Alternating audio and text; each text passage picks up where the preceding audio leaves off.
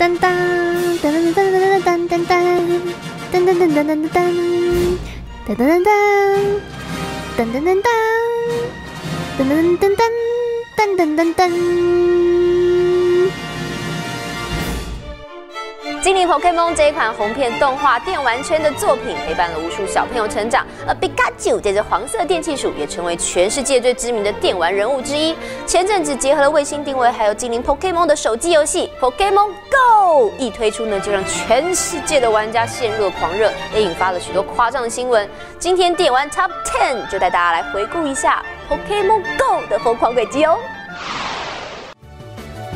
二零一六年七月六号，全球玩家都超期待的 Pokemon Go 正式在澳洲和纽西兰上架。消息一传出，其他国家的玩家纷纷涌入，造成伺服器瘫痪，也逼得开发商立即封锁纽澳境外的 IP。台湾玩家只当了几个小时的 Pokemon 大师，就再也进不了游戏了。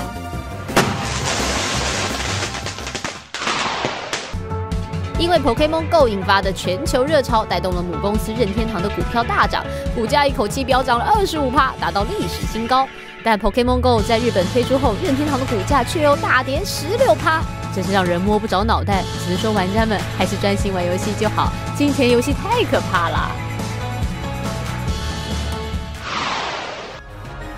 虽然任天堂的股票起起伏伏，但 Pokemon 游戏和任天堂主机销量可就扎扎实实的升天啦。根据英国的调查，Pokemon Go 让 3DS 和 Pokemon 的相关游戏销量成长了一倍以上，尤其精灵 Pokemon X 更是达到了爆炸性的两百三十八趴。相信现在零售商都非常期待十一月精灵 Pokemon 月亮太阳发售，可以让他们荷包满满喽。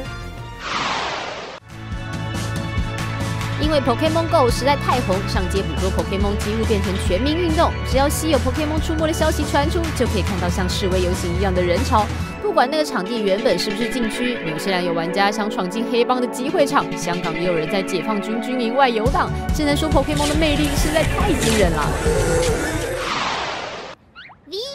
因为 Pokemon Go 的超高人气，生意头脑动得够快的商人开始把游戏中的诱饵使用在店面，让商店周边出现很多 Pokemon 来吸引消费者上门。国外就有业者表示，自己的销售额因此成长了三成呢。看来在店里摆皮卡丘比摆招财猫更有效哦。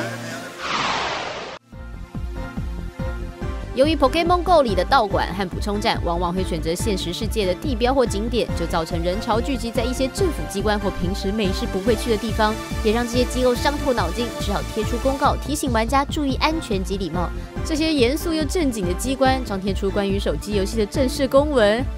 这大概也是史无前例了吧。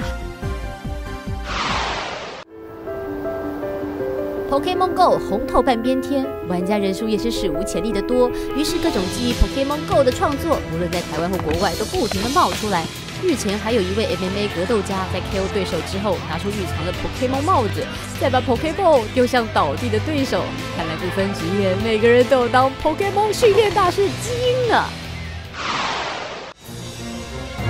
虽然 Pokemon Go 新闻每天都有，但最离奇的恐怕还是这一则吧。在美国的新罕布夏州，有两名玩家为了想抓稀有的 Pokemon，跟着 Pokemon Go 的引导，一路走到了人烟稀少的树林，结果在树林里发现一具男人的尸体。玩游戏玩到遇见尸体，这点肯定连游戏制作人自己都始料未及吧。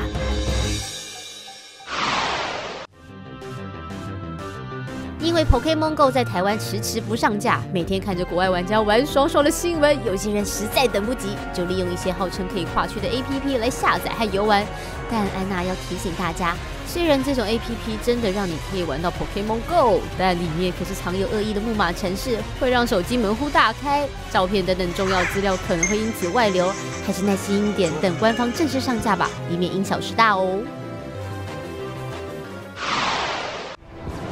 Pokemon 训练大师是游戏和卡通里虚构出来的职业，但日前英国有一位玩家把自己 Pokemon Go 的账号放上 eBay 拍卖，因为他的游戏记录里有很多稀有的 Pokemon，攻击力也超高。最终这个账号经过二十四次竞标，以七千三百英镑成交，换算一下可是超过台币三十万元呢。会不会 Pokemon 训练大师未来就变成了现实中的职业呢？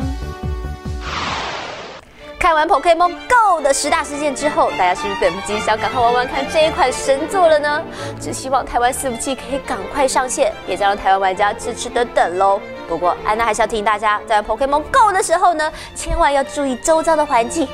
不要太沉迷，毕竟自身的安全才是最重要的哦，好不好？点完 Top Ten，咱们下次见，拜拜。